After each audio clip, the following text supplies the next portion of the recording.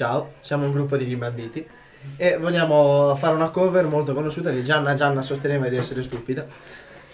E in questa occasione abbiamo deciso di suonare, di suonare degli strumenti molto conosciuti e molto eh, belli e pieni di felicità e armonia. Allora, qua ci abbiamo Sofia che suona il pianoforte, classico, pianoforte.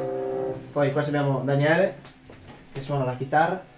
Ci abbiamo Gianluca che canta con uno strumento che si chiama kazoo.